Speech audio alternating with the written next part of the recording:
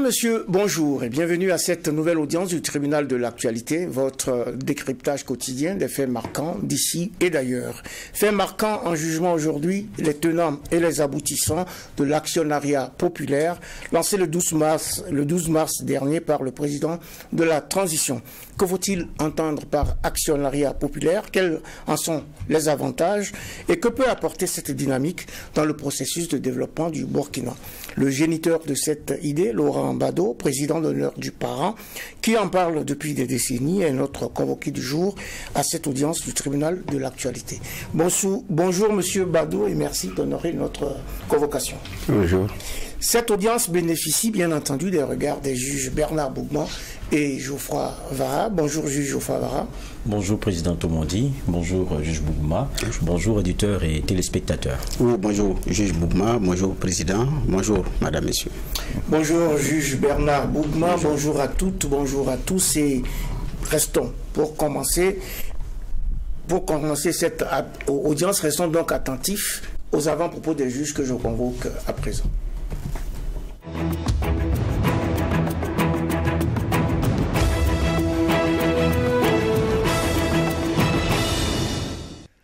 C'est la séquence avant propos des juges et Bernard, euh, ou plutôt Geoffroy Vara, silence en premier.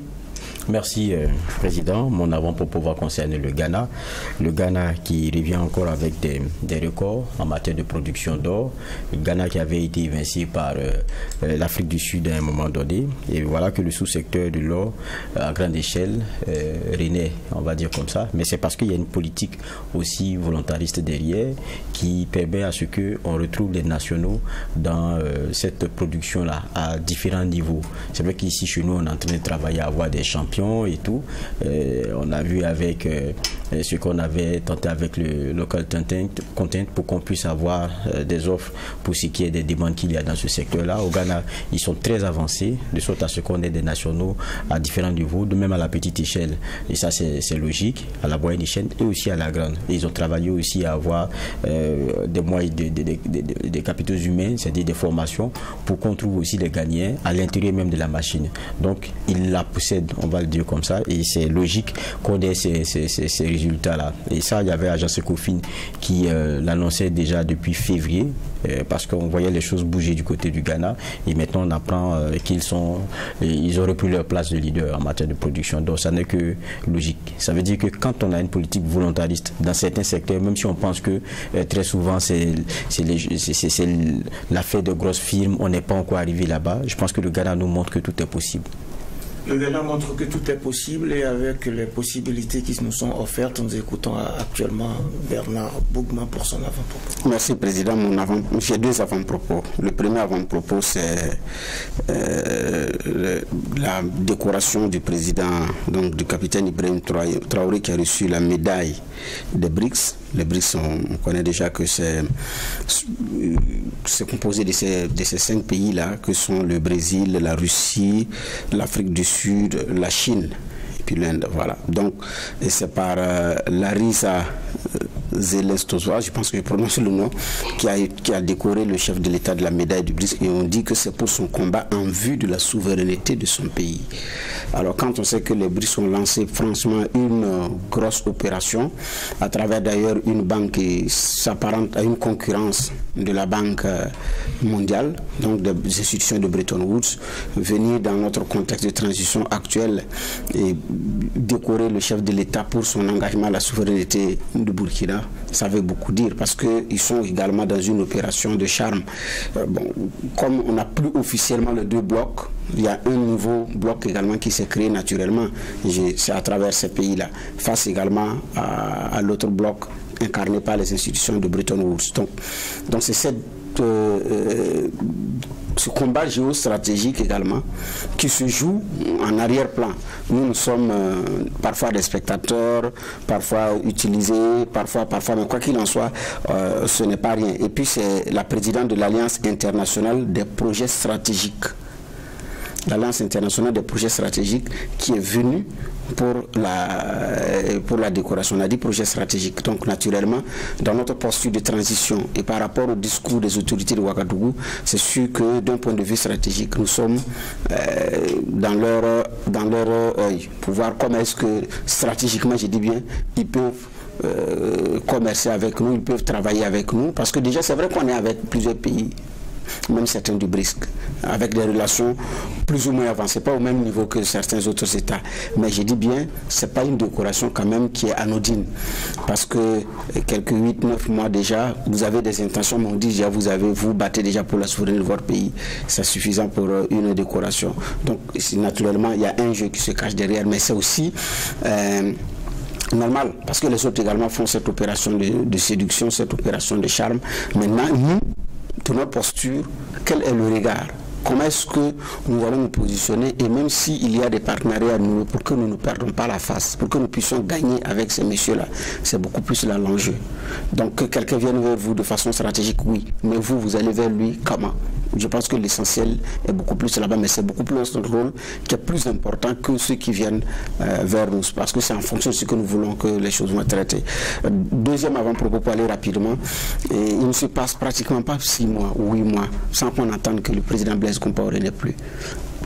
Personnellement, c'est des choses qui me mettent mal à l'aise. Je ne sais pas qu'est-ce que ces, messieurs ou ces dames ont à voir avec son décès.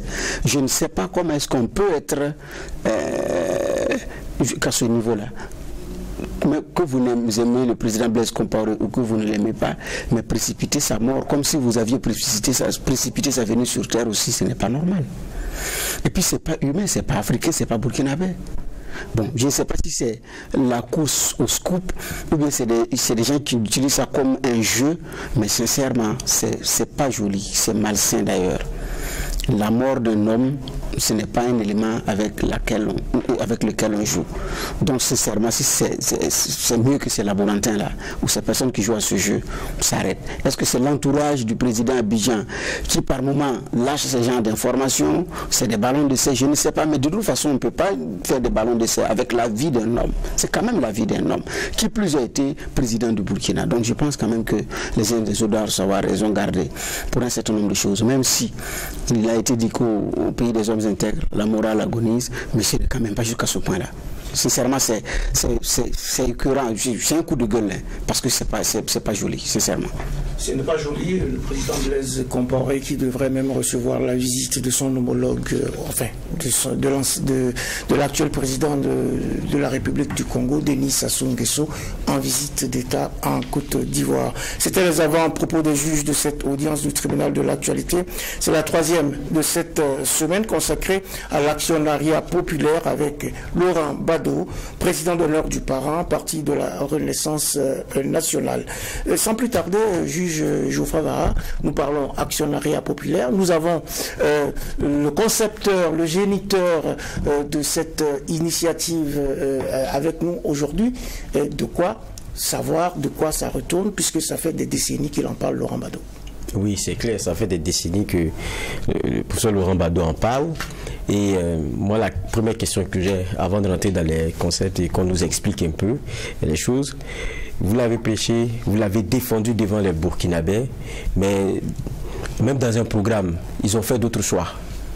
C'est-à-dire, ils ont fait d'autres choix, on a vu qu'eux, ils ont préféré aller vers d'autres programmes, on va dire comme ça. Et après, euh, jusqu'à récemment, vous avez pu euh, intégrer, avoir en tout cas un ministre dans le gouvernement, de, de Roc et tout. Est-ce que c'est des éléments que vous posiez aussi sur la table? Euh, première question, c'est. En réalité, l'actionnariat populaire, c'est la première idée que vous avez soulignée là. La première question que vous avez posée. Je ne me souviens plus très bien déjà. Je disais, parce qu'on disait tout à l'heure, vous le défendez depuis fort Ah, longtemps. voilà, ouais, j'ai le trouvé. devant, Oui, oui. de- devant le peuple, ça n'en parle pas parce que Voilà. c'était, le cœur de votre programme. Voilà. Et après, on vous a vu avec euh, le- le- le- le- dans le régime MPP, en tout cas, vous aviez un ministre et tout. On sentait qu'il y avait, je dirais pas genre de rapprochement, mais est-ce que même sous Kaboué, c'est quelque chose que vous avez défendu? Comment ils l'ont accueilli? Parce que c'est quelque chose qui vous tenait beaucoup à cœur depuis. Mais depuis longtemps, je me suis rendu compte que si nous ne trouvons pas une voie propre à nous de développement, c'est pas la peine. Et j'ai été guidé là-bas par euh, le président Ouezin Koulibaly. Ouezin Koulibaly, qui déjà en 58 avait déclaré à l'Assemblée territoriale ici, là, nous revendiquons le droit de trouver par nous-mêmes les moyens propres à assurer dans le calme l'évolution de notre pays. Ben, dès que je suis rentré maintenant avec l'université à gauche, à droite, avec les problèmes des Africains, j'ai commencé à me dire, mais c'est pas vrai. Lui, lui, il a dit ça alors qu'il n'y a pas encore d'intellectuel. Je pense bien, et dis-moi, je crois que le premier licencié, c'était Kizerbo, en 58. Premier licencié de l'université. Bon, ça, je, je ne sais Oui, pas, je oui. ne peux pas l'affirmer. Ah bon, ben moi je pense que c'était bien ce que J'ai le premier agrégé d'histoire, mais Voilà. licencié, Voilà, le premier licencié du Burkina. Mais donc, on n'a pas beaucoup d'intellectuels. Et regardez les propos de cet homme. Mieux, permettez-moi de lire le dernier mot de ce président, parce que ce qu'il dit là, je crois que ça, ça doit d'ailleurs euh, faire plaisir au président du FASO, malgré lui. Voilà, Ouazé Koulibaly qui dit si nous parvenons à soulever l'enthousiasme de nos populations, la partie sera gagnée. Car il n'y aura pas d'obstacle insurmontable. Les colossales pyramides d'Égypte, la grande muraille de Chine, les cathédrales gothiques de l'Europe occidentale ne doivent rien aux techniques industrielles modernes. Je vous laisse le reste de la phrase. Il reste cinq lignes, c'est pas la peine. Mais regardez ce qu'il dit. Il faut la En mobilisation. 1958. 1958, c'est la mobilisation qu'il nous faut. Ah, moi, c'est là que j'ai pensé que ce président, euh, malheureusement, il est décédé avant l'heure. Mais si nos gouvernants pouvaient vraiment prendre les idées des autres, on n'a pas dit de les mettre immédiatement en exécution. Personne ne détient la vérité. Donc c'est bien qu'on se contredise entre nous, en toute fraternité. Mais on serait parti loin. Alors, vous me demandez alors, et sous les autres régimes? C'est cela. Sous les autres régimes en réalité. Mais j'ai toujours défendu l'actionnariat populaire. J'ai toujours défendu. Bah, euh, sous rock, sous rock même, j'avais 32 lois en entrant à l'Assemblée nationale. Qu'une loi a été votée. Ça a été bloqué, m'a-t-on dit, et je ne vais pas dire qu'elle a dit, au niveau du gouvernement. Alors que il y a des lois, si vous-même vous les lisez aujourd'hui, surtout celles qui n'ont pas encore été votées là. Bon, il n'y en a qu'une seule qu'on a votée entre-temps. Mais c'était la transition. C'est le délit d'apparence. Mais là encore, malheureusement, on ne m'a pas demandé, moi, comment j'entendais mettre en œuvre le délit d'apparence. Parce qu'il y a une technique maintenant pour qu'on puisse découvrir les voleurs. On ne m'a jamais demandé. Donc je me tais.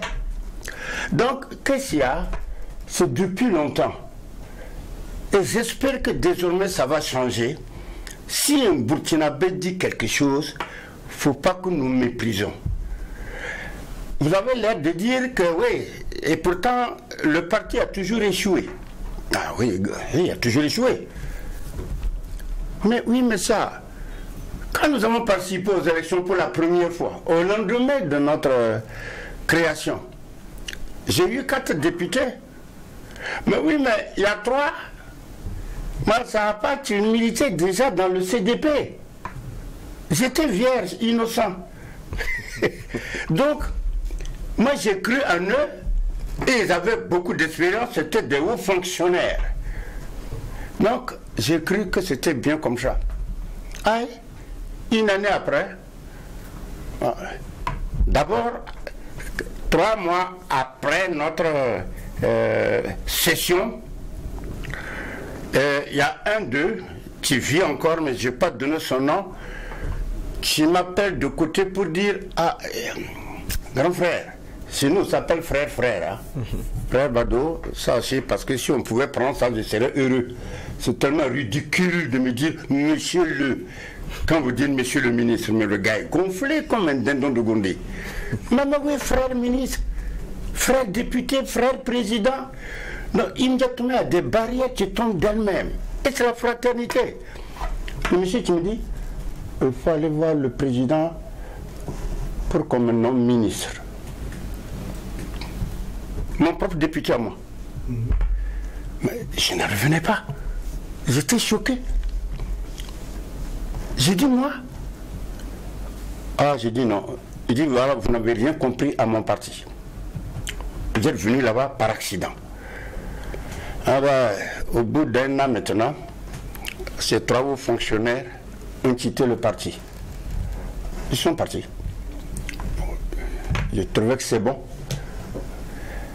Mais maintenant, on n'a pas appliqué, on n'a pas voté mes lois. Mes lois sont toujours là. Je ne sais pas si vous avez quelque chose, hein, parce que comme documentation, serait bien, je vous donner des lois, des propositions de loi, de loi. Si vous-même vous les lisez, vous dites, mais c'est pas vrai, qu'est-ce qu'on attend? Mais il faut ça depuis longtemps. Ces propositions sont avec moi. Alors, on va revenir aussi sur euh, l'actionnariat populaire, oui. Ouais. Geoffroy Vara. Oui, j'ai demandé comment est-ce que ça a été accueilli sous, sous J'ai compris que vous l'aviez en tout cas euh, en termes de loi, euh, en termes de propositions. Je me rappelle qu'en 2015, euh, lorsque le, parent allait aussi aux élections, rien qu'à lire le programme, le développement durable du Burkina suffira par la restauration de nos valeurs culturelles et l'instauration d'une économie populaire au moyen de l'actionnariat populaire, l'agriculture étant la locomotive du train de ce troisième modèle de développement. On sais n'ont pas de grégarisme ici, africain, à visage humain. C'est tellement ce qu'on est en train de retrouver ici. Mais, et pourtant, ça donne l'impression que ce n'est pas tombé dans l'oreille favorable des Burkinabés. Aujourd'hui, ça revient euh, avec la transition qui tente en tout cas de, le mettre en branle. Qu'est-ce que ça fait à Laurent Bado Bon, je me dis que les autres présidents n'ont pas jugé bon de prendre ce modèle de développement. J'espère que vous allez me demander en quoi il consiste, pourquoi lui. Tout à l'heure. Ah bon Répondez d'abord à la question. Du Donc vous voyez, euh, pour moi, ils n'ont pas voulu. Et puis ils avaient peut-être le poids de des puissances dominatrices, ceux qui nous ont toujours dominés. Ils ne pouvaient pas faire autrement. Alors que le pouvoir d'aujourd'hui, on sent vraiment que le peuple. Moi, je vous dire quelque chose. Hein. Si on dit que, tiens, il y a des capitalistes là qui ont de, armé des gens de l'extérieur qui vont venir euh, faire tomber notre euh, régime, alors là, c'est pas la peine. Et tous, la jeunesse là, elle préférait se faire couper la gorge. C'est la jeunesse qui va défendre le régime. Ce n'est même pas l'armée, on va dire l'armée de lycée, c'est les jeunes eux-mêmes. Donc voilà la vérité les gens, ils n'ont pas voulu. Or, lui, en fait, il était, je me permets de le dire, hein, il était obligé d'avoir un autre modèle. Parce que je ne pense pas que ce soit la lune de miel avec la France, actuellement. Donc, on ne peut plus rien attendre comme sous. Les autres pays, si ce sont les Occidentaux, la France fera tout pour nous ruiner. Ça, c'est certain. Alors, qui Donc, il nous faut nous-mêmes. Il faut que nous-mêmes, nous trouvons les moyens. Voilà, comme euh, le président, le premier président que j'ai cité là, Ouezel Koulibaly l'a dit, que nos propres moyens. Ah, il se trouve que les jeunes ils ont compris que tout ce qu'on a fait jusqu'ici, c'était sous la dictée et le diktat des, des puissances capitalistes. Et ça ne nous rapportait rien. Donc, vaut mieux que nous-mêmes, nous essayons de bâtir notre maison, notre économie. Et c'est ce que semble euh, faire euh, donc le président de la transition, parce qu'il a même dit que nous avons été conseillés, mais nous n'avons pas été écoutés. D'autres ont osé, mais nous ne les avons pas accompagnés et nous relançons encore la machine cette fois-ci. Nous recevons Laurent Badeau pour parler de l'actionnariat populaire. Bernard Boukman. Oui, alors, euh, de par le passé, vous avez dit que vos idées ont par moments été volées. Je, Oui. oui, je pense quand le, le gouvernement du Burkina avait instauré la taxe sur le développement communal, la TDC, vous aviez dit que c'est votre taxe sur la vignette auto qui avait été volée et mal appliquée. Quand il y a eu les pavages, les pavés qui ont été déposés devant les édifices publics, vous avez dit également que c'est une de vos idées qui a été volée, on ne vous a pas associé. La loi sur le délit d'apparence, c'est pareil, vous dites que bon là ça n'a pas été volé, ça a été appliqué, mais bon, vous n'avez pas été associé. Ma question cette fois-ci, est-ce que vous avez été associé pour l'application de l'actionnariat populaire dans, cette, dans ce contexte-là actuellement Avant-hier, on, on s'est borné à lancer ça officiellement. C'est justement dans cette semaine que nous devons travailler tous ceux qui tiennent au succès de cette opération pour que quand même ça ait des fruits. Donc je ne peux pas dire à l'heure actuelle que je suis associé, mais je sais que les choses se font. Euh, nous sommes un petit groupe qui nous réunissons chez un seul, la même personne, et qui disons ce que nous pensons de, de, de, de. Donc, au besoin, nous pouvons demander au président d'avoir la bonté de nous accueillir pour que nous disions ce que nous pensons dans tel domaine, tel domaine. Ça, le président est très ouvert pour ça. Et c'est ça sa force à lui. Il est tout oreille. Il a très peu de bouche, mais les oreilles sont larges. Et il écoute. Et surtout, quand il trouve que l'idée est bonne, il se l'approprie. Et il met en exécution. Or, les autres, non. Les autres, il n'y avait rien. C'est ça le problème. Donc, euh, oui, c'est vrai, vous dites que vous espérez que vous allez être reçu. C'est vrai, même à la cérémonie, euh, le chef de l'État a tenu à mentionner euh, que l'idée vient de vous. Maintenant, ici, j'ai dit bien pour l'application. Vous dites que vous espérez. Est-ce que déjà, il y a eu un premier contact avec vous pour que vous expliquiez mieux le concept, pour qu'on puisse avancer? Parce que si, si ce n'est pas tel que vous l'avez voulu, bon, peut-être que je ne sais pas. Ça Bien. va avancer. Euh, pour l'instant, je ne vais pas me permettre de dire ce qu'on a déjà mis en place en vue de la mise en œuvre de l'actionnariat populaire. C'est ceci, c'est cela. C'est bon, ce n'est pas bon, c'est médiocre, c'est améliorable. Non, non, ben, parce que là, je vais détruire notre groupe, là. Je vais détruire tout un travail. Il y a tout un gouvernement qui travaille avec des civils là-dessus. Ben, moi, j'ai eu l'idée. Évidemment, j'ai fait ma conception entière à moi. Moi, j'ai enraciné ça parce que le seul problème que j'ai trouvé qu'il me fallait résoudre, mais c'est attention, il ne faut pas que nous remplaçons une petite bourgeoisie vorace d'hier là par une nouvelle petite bourgeoisie aujourd'hui, qui sera alors pire même que la bourgeoisie d'hier. Mais à ce sens, vous comprenez? Si l'actionnariat, on se rend compte qu'il n'y a que les riches qui peuvent entrer dedans, que les paysans qui sont nombreux euh, sont de fait écartés, le pays, ce sera pire qu'avant. Donc moi, tout ce que j'avais inventé, c'est pour remettre l'économie entre les mains du peuple. Économie populaire. Euh, Économie communautaire par l'actionnariat populaire. Ben, populaire, quand je dessinais maintenant les choses chez moi, je dis, mais aujourd'hui, euh, une poule, ça fait 2500 euh, à l'époque. Ça fait 2500. Mais, mais pourquoi Pourquoi, par exemple, on va dire, on va pas dire à, à- à un paysan qui a toute l'année pour payer 10 000 francs. Et même moi, je ne serais même pas d'accord qu'on mette l'action à 10 000. Pourquoi on copie d'autres pays? On peut bien mettre l'action à 5 000. on est souverain, on n'est pas souverain, mais je ne comprends pas. Moi, j'avais mis l'action à 5 000. Donc, je ne suis même pas content d'avoir dit ça ici. Ce sont d'autres qui ont décidé de ça, par chez moi, parce que je veux éviter que ce soit une petite minorité encore. Et ça, cette minorité sera plus vorace. Hein. Regardez par exemple, l'actionnariat populaire va jouer aussi sur les mines. Mais c'est de l'argent.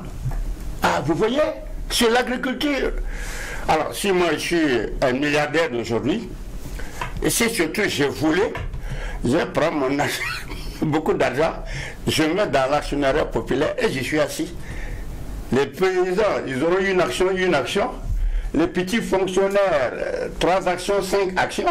Ouais, moi, je pourrais avoir 50, euh, 100, et ici, très bien. Voilà le problème. Vous avez commencé à parler de, des poules, il faut, développer. Les poules Vous avez parlé de poules, un paysan qui a... Oui, j'ai dit, oui, j'avais dit que je mettais l'action à 5 000 francs. de 10 000. Voilà, à 5 000. Donc je regrette de l'avoir dit même déjà. Ça, c'est... Oui, et, un paysan qui... Vous dites que dans l'année, il donne 5 000 ou bien il donne 10 000, 2500. Vous avez dit en son temps, la poule était à 2500. Oui, oui.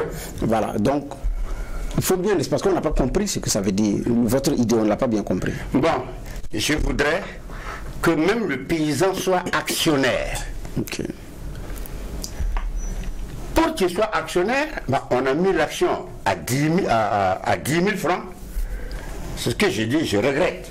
Et j'ai tort de le dire ici mais ça m'a échappé. J'ai dit chez moi, j'avais mis l'action à 5000. Et comme les poules coûtaient à ce moment 2500, 2500, avec deux poules qu'il vendait, le gars avait son, euh, sa part, son action. Et comme chaque année, on, on renouvelait ça, on renouvelait ces choses, mais ça fait des milliards et des milliards. Des milliards et des milliards. Vous avez compris maintenant? Voilà. 5 000 l'actions. Mais, mais, attention, ce n'est plus 5 000 actions aujourd'hui, c'est 10 000. Aujourd'hui, la poule ne coûte pas 2500, donc il va peut-être que donner deux ou trois poules. Oui, je euh, moi, moi en termes de processus, au lieu d'aller en comparaison avec ce qui est en train d'être fait, je, préfère déjà que vous explicitez ce qu'était euh, la question de l'entrepreneuriat communautaire avec, euh, comment dire, l'actionnariat, comment on appelle ça, l'entrepreneuriat communautaire avec l'actionnariat populaire. Comment, quelle était votre vision là-dessus? Avant de euh, avant de venir à ce qui se passe aujourd'hui. Vous voulez, vous me demandez de dire qu'est-ce que c'est que l'actionnariat populaire Quelle était votre vision là-dessus? Vous avez votre approche euh, de cela Mais il n'y avait pas d'autres approches. Moi, je ne voyais pas d'autres approches avant moi. D'accord. Ah ben oui, je ne vois pas. Même le, ministre, le ministre des Finances actuel là, en France. Je, je parle d'expliciter votre approche à vous, Bado sur la, question de l'entrepreneuriat populaire que vous défendiez dans votre programme. Parce qu'aujourd'hui, c'est à ça on est revenu, c'est vrai. Mais quelle, est l'idée de, quelle était l'idée en fait de, Laurent Baldo? Voilà.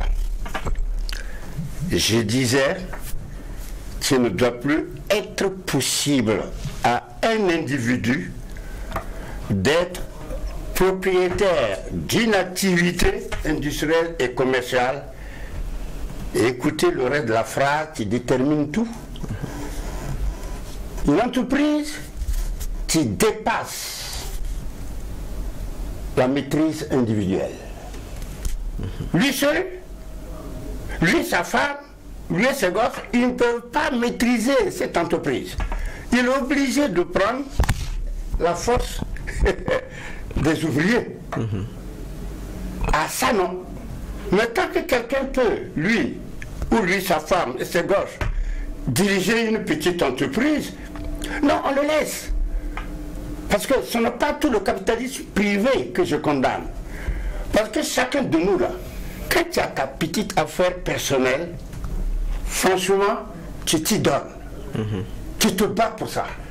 Mais quand tu dis ça appartient à tout le monde, et, et c'est la foi, il n'y aura rien. C'est pour ça que les communistes ont échoué. Voilà. Donc, moi, ce que je voudrais là, c'est que un certain nombre d'entreprises On commence actuellement par les entreprises les plus importantes. Puis non, après, m'envoie toute entreprise. Et c'est là qu'on pourra appliquer mon critère, la maîtrisabilité par le propriétaire. C'est pour éviter l'exploitation de l'homme par l'homme. Parce que je, je vais vous.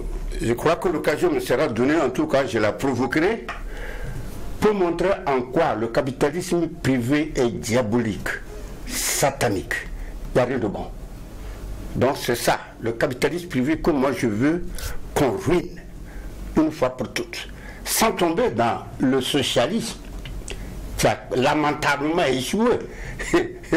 ça dans, dans ni quoi euh, mort, mort au, socialisme. Voilà, j'avais dit dedans que lui il mourra bientôt même, très rapidement. Et voilà, il est mort. Voilà. Vous aviez dit que le socialisme ne représente qu'une araignée desséchée ah sur la paroi de l'histoire. Ah ouais. Alors, moi, voilà. Mais maintenant, ma, ma, question hier, euh, où vous êtes assis, nous avions reçu un invité, docteur Faustin Consembo, euh, Evaris, qui dit qu'il est étonné parce que vous êtes juriste et vous savez que les Burkinabés n'aiment pas se mettre ensemble. Et que d'ailleurs, 90% des entreprises burkinabées sont des entreprises individuelles. Dans ce sens-là, ils ne croient pas que l'actionnariat populaire puisse marcher, parce qu'il faut d'abord commencer à changer les mentalités à la base. Il fallait prendre du temps, inclure l'esprit communautaire à la base avant de lancer le Qu'en pensez-vous? Ben, Je pense que qu'il dit n'a pas de sens. Absolument rien dedans sur moi, je ne partage pas. Il faut un commencement à tout. Et il faut quand même des conditions. Les conditions actuelles, c'est quoi? On a un président en qui toute la jeunesse se reconnaît entier, tous les travailleurs courageux, honnêtes, se reconnaissent. Mais il faut pas le faire pendant est chaud. C'est quel peuple on va éduquer, éduquer Lui, ce docteur qui a parlé comme ça là, il a appris qu'il y a des domaines où on a éduqué le peuple, éduqué, éduqué, corrigé, et ça n'a pas marché. Même ton, ton incivisme là, on a fait combien? On a dit combien? Il n'y a rien. Non, c'est le moment au jamais que vraiment, si l'actionnariat populaire est accompagné vraiment de, comment dire, de la. C'est-à-dire, sans qu'on ne doit plus parler du tout de voleurs. Moi, je dis, si j'étais le président du FASO, je ne mens pas, hein, c'est sincère. Je remets la peine de mort en place. D'abord même, Qu'est-ce que vous croyez? On a mis la peine de mort, on savait pourquoi. On nous a obligés. Voilà.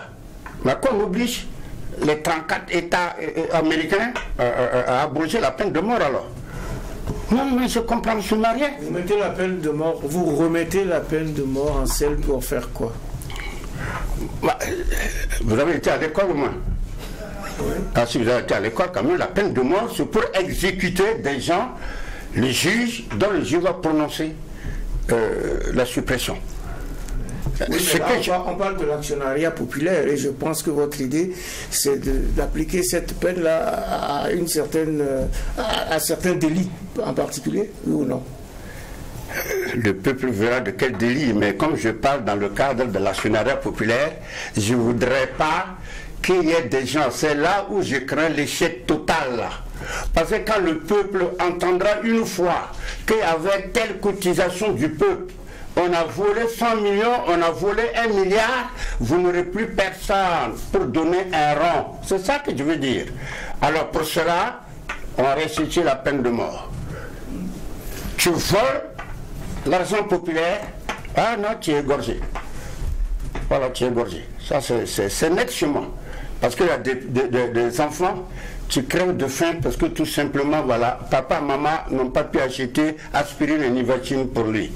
Voilà le problème. Tant qu'il n'y a pas la purité, on est trois. Parce que, voyez, on, a passé le temps à nous mentir là, que le peuple burkinabé est quoi le, euh, des hommes intègres. Oui. Diawala, mon cher. Diawala, il n'y a pas des hommes intègres ici. Et il faut justement faire naître l'intégrité. Il faut la cultiver. Voilà. Et il faut la cultiver à, voilà, en frappant les gens. Même quand on venait là, quand je venais ici là, Mais il y a des cas qui ont brûlé le feu devant moi. J'ai dit au chauffeur, il dit, regardez, avec tout ce qu'on a dit, il y a des gars qui continuent à jour. Mais regardez ce que moi j'ai proposé pour ça. J'ai dit non, mettez les policiers en civil. prenez une loi, euh, une ordonnance pour dire, voilà, vous avez fixé la, la peine là à, 50 000 francs pour les motos. 50 000. Alors, dès qu'on t'attrape, ah, on prend 25 000 francs, on donne aux policiers, et qu'ils se brûlent au soleil. Ah, et à sa femme ses gosses, il faut qu'il mange bien. Et maintenant, les autres 25 000 francs, on donne à son service pour avoir euh, de l'essence. Mais sinon, ce prêcher-là, on a toujours prêché au Burkina Faso et les gens, ça ne change pas. Donc si le docteur attend qu'on forme les gens, ah, lui, il n'a qu'à nous trouver des techniques dans tous les autres domaines où on a essayé de former les gens là. Et ça n'a pas marché. Tu ne peux même pas les calculer, les domaines où on a formé, quoi on est en train d'éduquer, on est en train de quoi, de quoi, et il n'y a rien. Voilà. Laurent Bado, président fondateur, président d'honneur du parent. Il est notre convoqué du jour pour cette audience du tribunal de l'actualité. C'est la troisième de la semaine. Nous parlons de l'actionnariat populaire. Oui, Geoffroy Oui, quand on regarde, euh, ça a été lancé déjà avec euh, la PEC qui chapeaute. Il y a des domaines qui ont été identifiés il y a des projets, on a vu que ça a été lancé avec quatre projets. Donc il y a des projets qui sont identifiés. On nous a dit que bon, il y a des projets qui seront retenus et il y aura des coopératives en tout cas qui vont se mettre en place. Je pense qu'on parle de 5 000 francs d'adhésion, 10 000 francs pour, euh, comment dire cela, pour avoir, euh, euh, pour avoir une part. Mais tout à l'heure, vous disiez quelque chose qui est intéressant. Comment est-ce qu'on pourra filtrer pour que celui qui a ces milliards ne soit pas celui qui tire le meilleur parti de tout ça, puisque c'est celui qui aura le plus grand nombre de parts. Est-ce que vous pensez que dans ce cas de figure, ça veut dire qu'il faut plafonner? L'intérêt, c'est d'abord pour que les, populations à la base là puissent avoir la rétribution de l'investissement qu'ils feront, alors qu'on sait que c'est l'actionnariat la base. Si, vous si vous avez trois parts, vous serez rétribué sur les trois, les trois actions que vous avez. Celui qui en a 100 000, il va s'en tirer encore avec plus. plus C'est-à-dire que plus vous investissez, plus vous l'avez. Est-ce que ça change fondamentalement quelque chose? Oui. Il n'y a jamais eu un problème qui n'a pas sa réponse. Tout problème a sa réponse. Ce serait une erreur grossière que de sanctionner des milliardaires qui viennent, même quelqu'un vient donner un milliard. C'est tout le pays qui en a profité, non mhm. Mais seulement voilà. Un, le gouvernement doit maintenant creuser pour savoir l'historique, la traçabilité de cette richesse.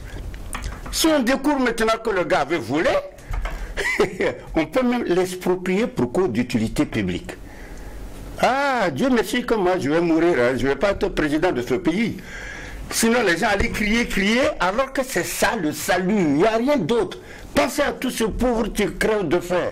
Ces mamans qui pleurent à longueur de journée, qui viennent devant votre porte tendre la main. Non. Donc, franchement, quoi, il faut. Franchement, il faut amener les gens à investir, même des milliards, et non seulement on va contrôler, maintenant c'est bien, c'est une chance. Mais ensuite et surtout, on va voir au niveau des impôts. S'il gagne plus, paiera plus. En plus, oui. C'est bien ça. Ah, toi là, tu t'es retiré avec combien? Eh, ton avoir là, tes cadeaux là. Oh, tu as eu 3 euh, millions. Ah bon, écoute mon cher, sois gentil, donne un million encore à ton peuple et garde les 2 millions. Ce sont des choses pareilles. Mais on discute avec les gens. Ça, ça t'a imposé, du coup. Mais personnellement, je ne suis pas pour qu'on empêche les, riches, les milliardaires euh, euh, d'entrer dedans. Au contraire, je les invite massivement à se racheter même. Vous savez pourquoi? Parce que tout enrichissement, c'est quelque chose qui n'est pas normal. Vous savez pourquoi? Mais dans un désert, est-ce que tu serais riche? Tu ne serais pas riche. Dans un désert, nous si te donne des milliards, ça te servira à quoi? Écoute, c'est dire que nous, nous, nous enrichissons par nos relations avec les autres dans la société. Mais nous avons intérêt à, à bien nous occuper voilà, de ce peuple, d'où nous tirons notre argent. Non, les riches comprennent, mais les riches, c'est souvent quand on est pauvre, on croit que non, non, non. Mais moi, quand je parle souvent, je commets l'erreur de parler comme ça, comme si dès que tu es riche, c'était l'enfer. Tu es très mauvais. Non, c'est pas ça que je veux dire. Il y a des riches qui ont donné des exemples. Qui donnent des exemples. C'est le travail. Mais c'est comme il y a des pauvres, ils sont pauvres par leur faute. Il ne faut pas l'oublier. Souvent, moi, je n'aime pas donner de l'argent aux gens dans la rue. Pourquoi? Mais il y a des gens, on leur dit, oh, eh, voilà encore, pendant longtemps là, la limitation de naissance. On appelait ça contrôle de quoi euh, Contrôle de naissance? Non, il y avait un autre terme. Planification familiale. Voilà, planification. On a tout dit pendant des années. Mais, mais regardez la population aujourd'hui. Mais nous allons pleurer. Attention, les portes de l'enfer ne sont pas encore fermées. Ne sont pas fermées. Je continue sur euh, les petites préoccupations sur euh, celui qui investit plus. On sait que c'est celui qui, qui contrôle. Quand on est dans l'action, dans, dans le, le- le- le modèle action, lorsque vous avez des parts, celui qui a le plus de parts, c'est souvent celui qui a la décision en interne. Maintenant, il faut repenser le modèle aussi, le, le modèle euh, de, direction en interne, le modèle de- euh, parce que si on est en actionnariat et que euh, vous mettez un conseil d'administration ou quoi que ce soit, et que ce soit celui qui est mis le plus qui dirige, ça devient un peu compliqué. Alors que ceux qui sont à la, ceux qui sont à la manœuvre, je pense que c'est d'abord ces coopératives, c'est ceux qui tiennent le projet au départ, qui l'ont soumis et qui a été retenu, c'est ceux-là qui vont travailler chaque jour. Maintenant, après, euh, comme habituellement, il y a des conseils d'administration, il y a des éléments, mais souvent c'est ceux qui, celui qui a le nez de la guerre le plus fort, là, celui qui dirige. Comment est-ce que ça peut être contrôlé à ce niveau? Bon, ça rejoint un peu l'autre bout que je ne veux pas aborder. Je ne veux pas toucher à des choses qui sont en train de se préparer. D'accord. Nous, on est assis à l'heure actuelle, il y a des gens qui écrivent, qui prévoient des choses, des choses. Nous avons même des réunions. Après demain, nous avons une réunion. D'accord. Et je participe à la réunion. Parce que en fait, ce qu'on nous, a déjà- ce qu'on nous a déjà dit, c'est que l'APEC va prendre des, euh, des parts minoritaires. C'est sûr que c'est pour avoir un minimum de regard euh, dans la gestion. Mais bon, je ne sais pas, comme on voit dans le secteur minier aujourd'hui, les gens ils ferment comme ils veulent, quand ils veulent, mais l'État a 10% dedans. Et on floue les travailleurs. euh, ils sont là, euh, quelquefois il y a des décisions de justice qui sont à leur faveur. Malgré que l'État ait eu 10% à l'intérieur, que l'État ait eu un regard, bon, ils sont là, ils sont sur le bas-côté, ils attendent d'avoir leur, euh, leur, argent, qu'ils soient payés. Ils ont été licenciés abusivement. Mais ça se passe comme ça. Oui, oui, ça c'est le capitalisme. C'est le capitalisme privé, horrible. C'est tout.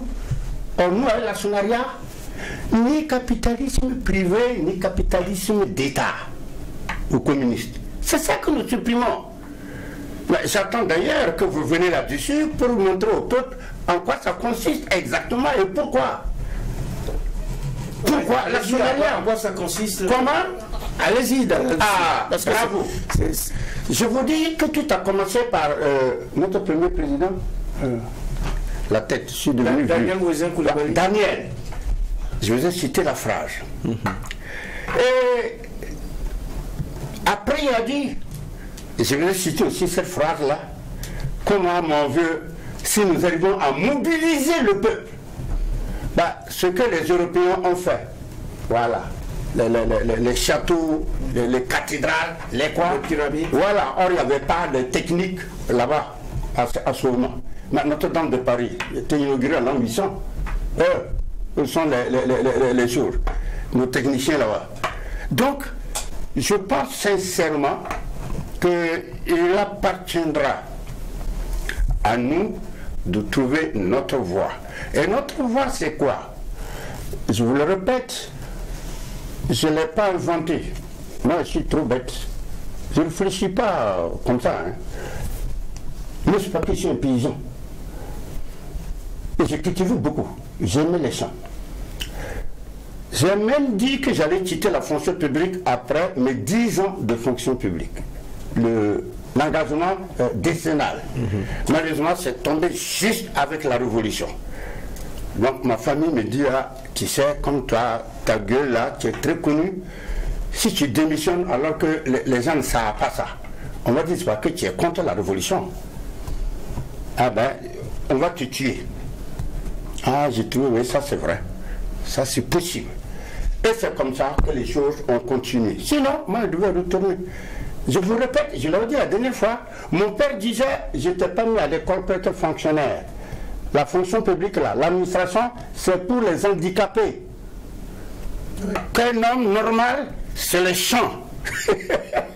mon père et donc vous, vous êtes, donc féru des champs et c'est à partir voilà. de ces champs que vous avez imaginé. Voilà. Pourquoi J'ai imaginé, qu'est-ce que j'ai imaginé Mais voyez la famille, là. Tu vois, la grande concession familiale. Le matin, tous les enfants, tous les garçons, ça m'a cultivé le champ collectif. Mhm. Nous voilà tous assis. Nous avons aussi un troupeau collectif. C'est là qu'on puise pour les mariages, les décès, nyama, nyama, nyama, nyama. On recote les champs collectifs, on les met dans beaucoup d'ethnies, dans des greniers centraux. Et c'est là maintenant, moi par exemple, il s'appelait Marc. Un de mes grands frères s'appelait Marc. C'est lui, chaque semaine maintenant, il a commencé par exemple par tel grenier et il enlève le, euh, euh, le yar, yar, hein, warba. le monsieur Non, Yarba, Yarba. Yorba ah Oui, le Yorba. Il donnait euh, le Yorba selon le nombre de bouches dans cette maison. Même si Kalmas avait vu ça, il n'en reviendrait pas. Mais c'est quand même terrible. Mais maintenant, on ne va pas aller prendre le mille de tout le monde, battre, te donner pour que toi tu ailles boire. Pour que tu ailles au marché et t'amuser. Donc chacun aussi a son petit champ. Ah Donc vous voyez comment c'est dessiné mon actionnariat populaire. On va de tous cultiver un champ collectif. Pour l'instant, c'est toutes les entreprises vraiment qui vont dépasser la, la, maîtrise individuelle ou familiale. Mais le reste là, c'est chacun continue à gérer son truc, etc. Comme il veut. C'est tout. C'est pas compliqué du tout chez moi. Voilà comment je prévoyais ça. Voilà comment il prévoyait ça, Bernard Bougman. On est presque à la fin de cette émission. Peut-être juste une dernière préoccupation pour expliciter davantage. Oui, euh, vous me rappelez un livre que j'ai lu de Mathieu Badou, avec le, thème, euh, pardon, pour titre Fraternité d'abord. C'était moi. C'était? Mais c'est moi. Ah, c'est vous C'est moi qui l'ai fait pour mon grand frère, il était ambassadeur. Quand je venais d'arriver de France. Je voulais commencer. Oui, parce que. J'avais lu une phrase terrible de euh, Mathieu a cité Laurent Bado. parce, que quand, parce, que quand, je lis le livre Fraternité d'abord et j'entends parler, j'ai l'impression que c'est l'auteur de Fraternité d'abord. Voilà chez moi. ah d'accord, donc c'est bon, c'est bon question. C'est moi, mon frère il était ambassadeur. Toi, un petit, il voulait être prêtre, etc. Puis ça n'a pas marché, hélas. Quand il était ambassadeur à Paris, à Moscou, à Pékin, etc. et quand il est venu maintenant, il lui a dit, ah, je voudrais vraiment la jeunesse là, ouvrir les yeux à la, à la, à la jeunesse. Il dit, d'abord, il faut lui dire comment les choses se passaient dans notre société. Mais Mathieu n'a jamais été au village. au presque, il n'a jamais été au village, lui. Il ne sait même pas de quoi il s'agissait. Frère Mathieu. Et surtout qu'il a épousé une moussie, la, sœur de, de, de Mackay Ouedrago, c'est-à-dire son père c'était Guillaume Ouedrago, le même Guillaume Ouedrago. Tout à fait. Mais Mathieu revient ici, mais ça va dormir chez sa belle-mère. C'était interdit chez les moussis, c'était interdit chez les volontiers. Donc moi, c'est moi qui connaissais la vérité puis que j'étais toujours au, champ. Donc c'est moi qui ai fait. Et il y a une seule, une seule fois, je lui ai dit oui, il faut me citer ici. C'est en parlant des femmes. Voilà. Parce que je haïssais tellement la conception occidentale du, du sexe que ça me faisait mal. voilà, en fait, ma dernière question, euh, c'est aussi euh, vos ouvrages qu'on n'arrive pas à trouver. Ils sont nombreux qui nous disent Ah, on a ah, besoin des livres de Bado, les lettres politiques, il n'y en a plus, vous n'éditez plus, qu'est-ce qui s'est passé? Voilà. Bon, voilà ce que j'ai fait. Vous savez que les gens n'aiment pas lire. C'est pas si les autres pays africains, mais ça m'étonne, ça doit être même pour, pour tout le monde. Il y a même des ouvrages que moi je n'ai plus. Ah, vous ne les avez plus Voilà. On m'a pris. Non, sincèrement, je profite de votre micro là. Il y a même un pasteur protestant qui est venu chez moi me prendre quand même mon lexique de mots juridiques. Il avait un problème juridique, je lui ai dit, mais la solution est simple, c'est ceci, c'est cela. Mais tu es venu tout de suite quand je sortais, prends ça, va lire. Après, tu peux revenir me voir. Mais je n'ai pas pensé à prendre son nom. Je respecte les autres. Vous n'avez pas son numéro non plus. Je n'ai pas pris, non. Le, pasteur, il a disparu avec votre livre. Il a disparu avec mon ouvrage. Voilà la vérité. Non, non, ça. bon, ramener les ouvrages de Laurent Bado voilà. qu'on puisse en profiter. Et le président de la transition a rendu hommage aux devanciers. Il a cité Joseph Kizerbo, Cheikh Anta Diop, Thomas Sankara et Laurent Bado. Ça vous rend fier, 30 euh, minutes, Laurent Bado. Euh, je m'excuse, hein. c'est pour le, dire, de rester tranquille. Ce matin, ce matin, avec 4 je me suis levé j'ai choisi beaucoup de livres parce que les gens n'aiment pas lire. Et par conséquent, si tu fais un ouvrage de 100 pages, même les gens ne lisent pas. C'est pour ça que je ferai des ouvrages, de, des petits ouvrages de 50, 80 pages. Voilà. Maintenant, pour ceux qui veulent vraiment se pénétrer de la pensée et l'améliorer, je suis en train, j'ai trouvé un, quoi? Un, éditeur. Un, éditeur. Il va tout reprendre. J'ai dit les, quoi là? Les lettres politiques. Les, lettres politiques, Et je m'entends par parenthèse parce que tout ne peut pas entrer. J'ai dit extrait. Voilà. Et puis après, je fais les conférences publiques. Encore extrait. Comme ça, on aura quelque chose. Voilà, voilà. On aura un support. Un support. Euh, malheureusement, le temps qui nous est imparti est déjà arrivé à son terme. Ah, ben c'est bien. C'est bien, pensez-vous? Ah, ouais, c'est bien. C'est bien. C'est la dernière fois que je viens ici. Non, ça sera pas la dernière fois. Pourquoi? Mais, j'ai 78 ans. Oui. Toi, là, regarde. J'ai 78 ans. où est le problème? Ah, Où est le problème? Il est brave, hein, ce garçon. Ah ben oui, naturellement, puisqu'il faut que des, jeunes ont, besoin d'en savoir. Alors, pendant 78 ans, les jeunes sont faux. C'est maintenant que je compte sur eux. C'est maintenant que je sais que les jeunes, ne vont prendre conscience qu'il est temps de se lever et de chercher la vérité qui va les sauver. Voilà. Et le patriotisme, là, c'est maintenant cette jeunesse. Cette jeunesse est devenue patriote, courageux, c'est pas, moi je suis très content de l'évolution actuelle. Le président a bien parlé d'ailleurs, il dit que c'est une quoi Nouvelle.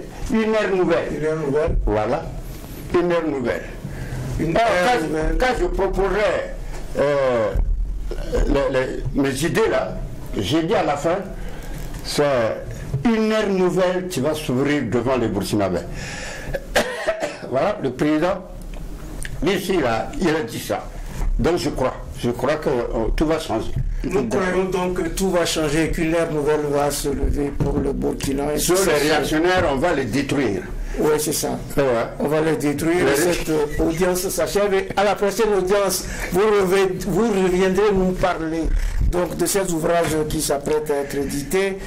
C'est la fin de cette audience du tribunal de l'actualité. Ah on a parlé de l'actionnariat populaire, même si on n'est pas trop rentré euh, au fond. On va revenir euh, avec d'autres émissions là-dessus. Laurent Badou était notre convoqué du jour. Il est président d'honneur du parent. Merci, M. Badou, d'avoir honoré. Je vous remercie, mais je regrette une seule chose. Je pensais pouvoir montrer aux jeunes en quoi le capitalisme privé est intrinsèquement pervers. C'est pour ça que vous, allez, revenir. Vous allez revenir. Même, même Karl Marx là, Karl Marx n'a pas détruit le capitalisme comme moi. c'est pour ça que vous allez revenir, revenir dire ça alors. C'est pour ça que vous allez revenir, professeur euh, Laurent Bateau, et merci aux juges euh, qui ont été là ce matin. Bernard Boucan, merci. Merci. Merci à Geoffroy Merci. aux équipes techniques de réalisation ainsi qu'à vous tous, quel que soit votre fond de travail et de combat pour les efforts quotidiens vers la paix.